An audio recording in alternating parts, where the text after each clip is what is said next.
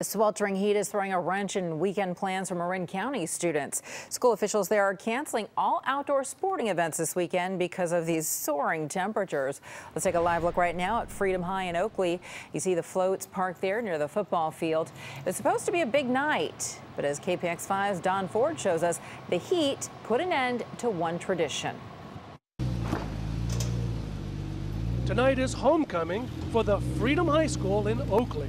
But for the first time in the history of the Freedom Falcons, the traditional parade of class floats through town is canceled. With the anticipation of extreme mm -hmm. heat, of uh, expecting it to get to 111 or so, um, we just didn't find that to be in the best interest of the people involved to have them out marching around.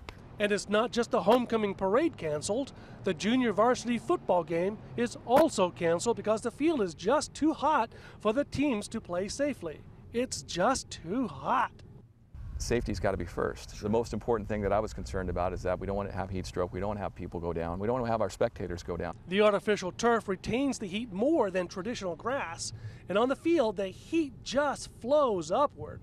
Students have mixed feelings about the safety stand down. Uh, I feel like we could have performed out there. We might have been like a little bit off, but.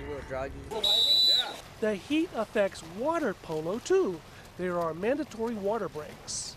In tennis, their practices have changed also. it's been in the triple digits the whole week, and we've had to move practice to the night to cool down. This young lady has come prepared to watch her big sister play volleyball, even if it is inside the air conditioned gym. In Oakley, Don Ford, KPIX 5.